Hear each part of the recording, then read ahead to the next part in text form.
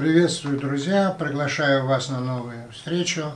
А, и вот хочу вам там рассказать и показать, и мы все на вебинаре, и участники, и я, покажем новые приемы. Ну, мы всегда делаем так, чтобы новые приемы посмотрели. И для новичков это будет полезно, и для наших корифеев, и вообще от преодоления к, к потоку, к состоянию, когда тебя несет, э, или по течению – ну вот смотрите, я вот искал, искал, делал, делал, вошел в поток и вдруг увидел, что вот эту тоже чайку надо сделать, как здесь. Сделать вот такую, чтобы она летела прямо сюда, а паруса сюда, вошел в поток, как говорится.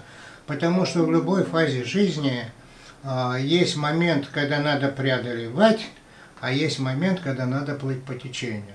Но по течению хорошо плыть, когда ты уже преодолел барьер, маршрут установился – и ты потом бежишь налегке. Вот это бывает и в беге. Ты бежишь, бежишь, напряжение растет, растет, потом наступает точка, когда уже нет сил, тебе надо преодолеть, и ты преодолеваешь.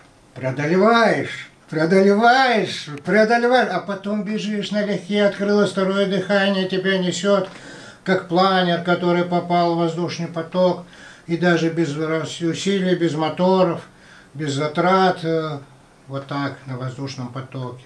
Называется восходящий поток. Поэтому в каждой стадии жизни есть, когда надо преодолевать, а есть, когда надо плыть по течению.